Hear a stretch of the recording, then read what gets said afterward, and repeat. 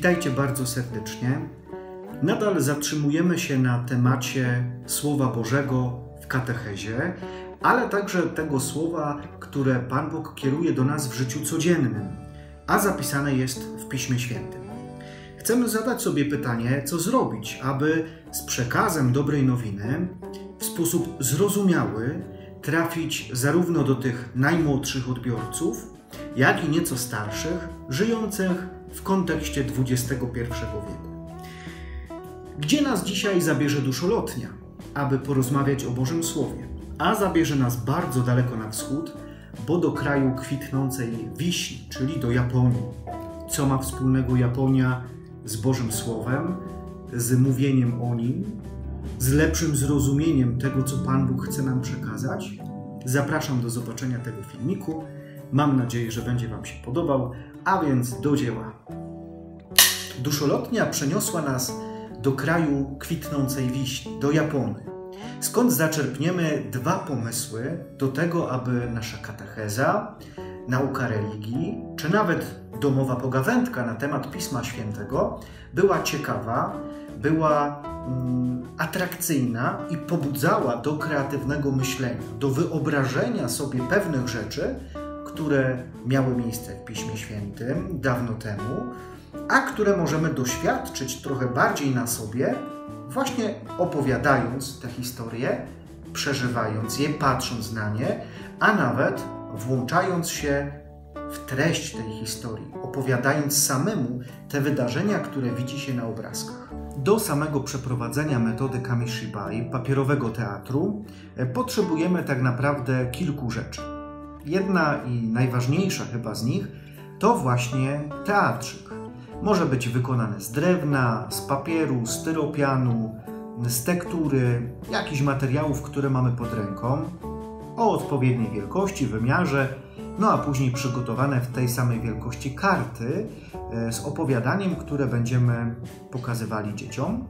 Można go też zakupić w jakimś profesjonalnym sklepie, aby służył nam przez długie lata.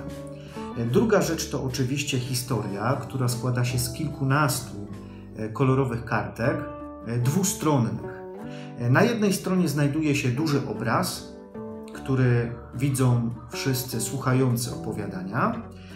Natomiast po drugiej stronie widoczna jest miniaturka tego obrazu oraz sparafrazowany fragment z Pisma Świętego opowiadający to wydarzenie, które wszyscy widzą. Znajduje się to oczywiście na różnych kartkach, z jednostronnym wyprzedzeniem, dlatego że z boku tego teatrzyka jest możliwość wysuwania tych kartek, które powodują, że e, oczom widzów pokazuje się inny obrazek, którego miniaturka znajduje się właśnie na tej wyciąganej kartce i przekładając go na tył, spokojnie możemy czytać dalszą część historii, a widzowie oglądać to na własne oczy.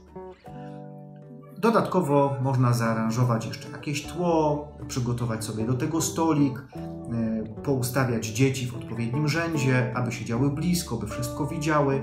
No i w takim wypadku teatrzyk jest gotowy, a kiedy kończymy historię, mówiąc koniec, zakładamy go z powrotem, zamykając nasz teatrzyk, zapraszając dzieci do kontynuowania tej historii albo rozmowy o niej lub po prostu zakończenia lekcji. Metoda Kamishibai przeznaczona jest raczej dla dzieci, zarówno tych z przedszkola, jak i tych ze szkoły podstawowej.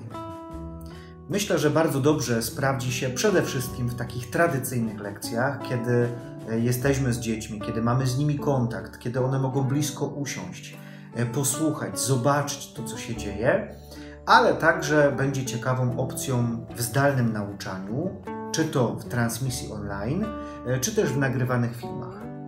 Tu jednak jest to trochę trudniejsze dla osoby opowiadającej. No, kiedy wpatruje się w kamerę czy w telefon, nie ma tego feedbacku. Nie jest w stanie zobaczyć, czy jest jakaś interakcja z uczestnikami, czy im się podoba, czy też nie. Ale jedna i druga opcja jest dopuszczalna. Bardzo ważne jest, aby y, dzieci, które wsłuchują się i patrzą na teatrzyk Kamishibai, siedziały bardzo blisko, by dobrze widziały i dobrze słyszały całą historię.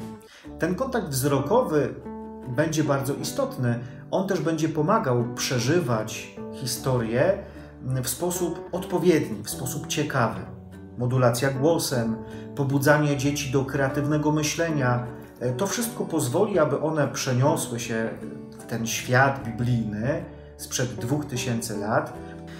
Można też, y, prowadząc taką metodę Kamishibai, zaangażować dzieci. To znaczy, y, kiedy opowiadamy tę historię, można robić przerwy, y, pytając uczestników o to, jak się nazywa główny bohater, gdzie ta scena się dzieje, co widzą na obrazku, co przykuło ich uwagę.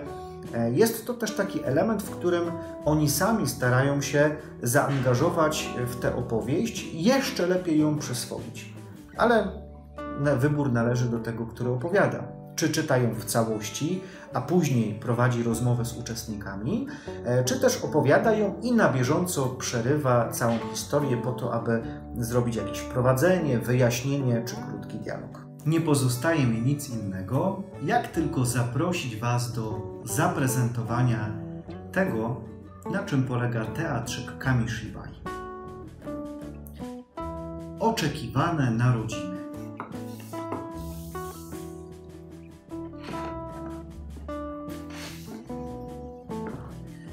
Ty, Betlejem, najmniejsze jesteś spośród plemion ludzkich. Z ciebie wyjdzie ten, który będzie władał w Izraelu. Takie tu słowa przed wieloma laty wypowiedział prorok, bliski przyjaciel Boga. Ludzie przez wiele, wiele tysięcy lat wyczekiwali narodzin Jezusa, prawdziwego Zbawiciela, którego Bóg obiecał posłać na ziemię. Niektórzy już nie wierzyli, że to się może w ogóle wydarzyć, zwłaszcza mieszkańcy małego miasteczka Betlejem. Nie sądzili oni, że może ich kiedykolwiek spotkać coś ważnego, bo nie rozumieli tych słów proroka. Tymczasem, pewnej nocy, w tym właśnie mało znanym miasteczku, wydarzyła się rzecz niezwykła. Jaka? Posłuchajcie.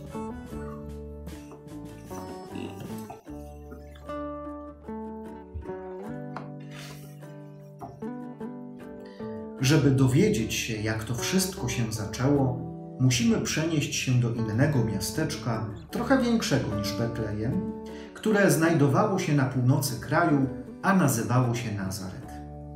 W tym mieście mieszkała piękna, dobra i pracowita dziewczyna o imieniu Maryja. Przygotowywała się ona do ślubu ze stolarzem Józefem, gdy pewnego wieczoru w jej domu pojawił się niezwykły gość. Bądź pozdrowiona, Maryju, Pan jest z Tobą, rzekł mężczyzna, skąpany w jasnej poświecie księżyca wpadającego przez okno. Nie bój się. Zostałem przysłany przez Boga, aby powiedzieć Ci, że zostałaś przez Niego wybrana do nadzwyczajnego zadania. Urodzisz dziecko, które będzie Synem Bożym i nadasz mu imię Jezus.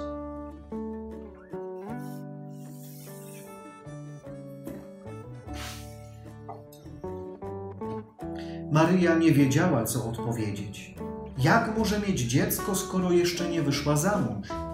Co powie Józef? Czy uwierzy, że to dziecko będzie dzieckiem Boga? Nie obawiaj się. Anioł zdawał się jakby czytać w jej myślach.